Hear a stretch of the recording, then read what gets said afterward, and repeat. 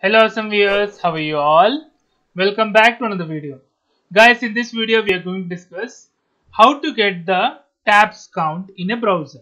This is one tab and if you open another tab, how we can get the value of this. So without any further ado, let us start the video.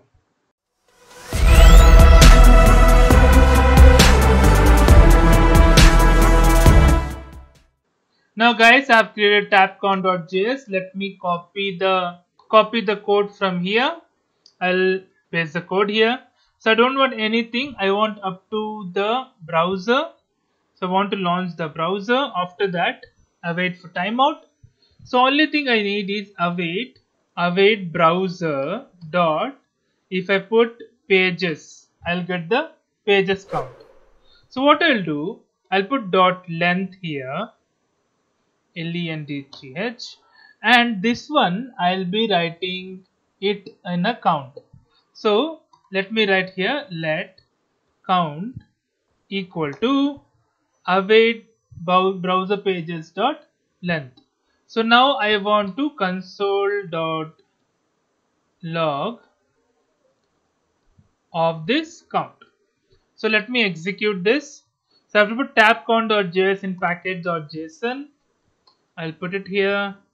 Tab count.js so now let me execute this. Cls npm test.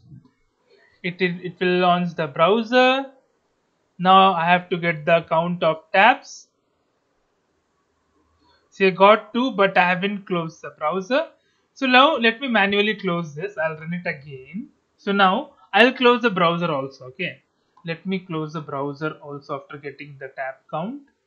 So yeah after getting the tab count so I'll enter close the browser and I'll write proper message the tabs are the count of tabs are okay?